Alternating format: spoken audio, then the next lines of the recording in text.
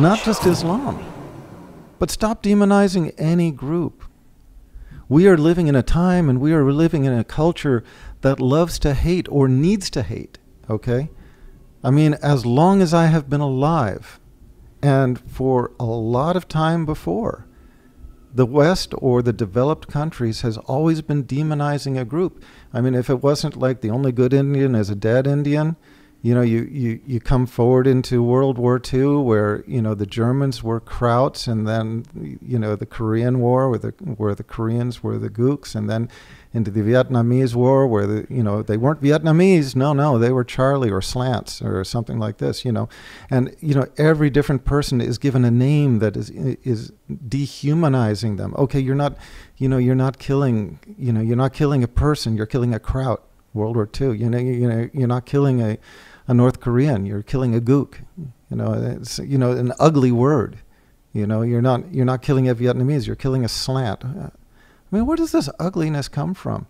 But this is, it's a process of basically programming a people to see another people as as something different from what they are.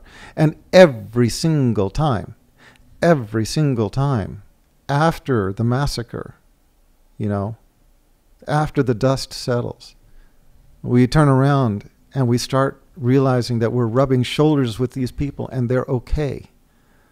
You know, the Indians that we massacred, the American Indians that we massacred, we now go and visit their, their reservations. We enjoy their art. We enjoy their food. We see the beauty of their customs and the gentleness of their natures. After World War II, the you know, there are all these touching stories of soldiers who were united with their counterparts. You know, I mean, the, the American, you know, the American uh, soldier who was uh, interned in a prison of war camp and uh, suffered horribly during his internment and da da da da. And uh, later, after the war, is united with his captors and they both just realized we were we were on different sides of the equation and we're both okay. You know or the one who was shot down by another pilot or or uh, you know was you know intimately involved in the struggle of life and death and the struggle of the war against another counterpart with which they were united later and you know later. And they just realized you know i mean we're all human. Mm-hmm. you know i mean the germans in this country the Japanese in this country, where'd they come from? The same countries that we were fighting. And what do we think about them now? I mean, I mean sushi. You know, I, I, mean everybody knows knows a Japanese person, if nothing else, just from our, our food culture. And, and you know, we we found that the people that we were killing before, we found that the people that we were fighting before on the basis of ideology, who we thought were less than human, they're okay.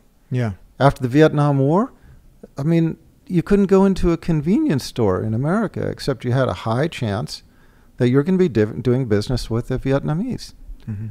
and and they were okay. And shock of shocks, you yeah. know. I mean, they're just like us. They they just want to live life and and you know have a peaceful existence and so on and so forth. That's the the power of the human connection, huh? I'm just saying. Look, I'm just saying whether, whether you're talking about the you know the forces that we were at war with in World War II, where where you're talking about you know Mussolini's Italy uh, in uh, you know in that period, or whether you're talking about the, the you know the Nazi Germans, or whether you're talking about the Japanese.